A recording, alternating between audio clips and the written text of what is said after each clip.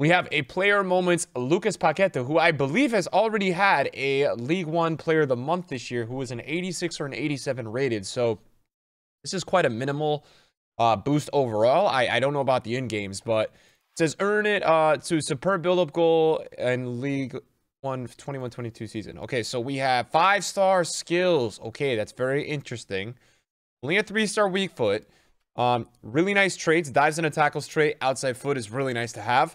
Insane, insane dribbling. Really solid defending. Really good strength. Yeah, looks like a really, really good box to box player. I love his passing as well. I think his passing is really, really solid. So his League One Player of the Month was a, was an 86. So this is actually getting a really massive upgrade. Plus five pace, plus three uh, dribbling, plus two defending, plus three physical, plus four passing, and plus four shooting. Yeah, very nice. And he's got the five star skills. He's usually four star, three star. How much is EA requiring here? 84, 85, 86. You know what, guys? Not too bad as we get later into the week uh, with you know more uh, more upgrade packs out, uh, more fodder packs, and more flash SBCs, et cetera, et cetera. Right? Should be decent as we go on into the later in the week. And look, for me, hating on this type of SBC is not great. You know, I, I think.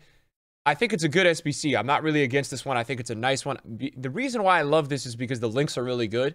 I love that he links to Neymar. I think I think that opens a lot of options. It's a really nice center mid in the League One, and I think for an 84, 85, 86, that's not too horrible right now in terms of a price. Um, an 84 squad right now is uh, with an inform is 40k. Um, an 85 right now is about 70, and an 86 is about 110. So this should be, uh, if it has lower chemistry, just probably south of 200k, which you know from scratch and all things considered is not too bad for that Paqueta. So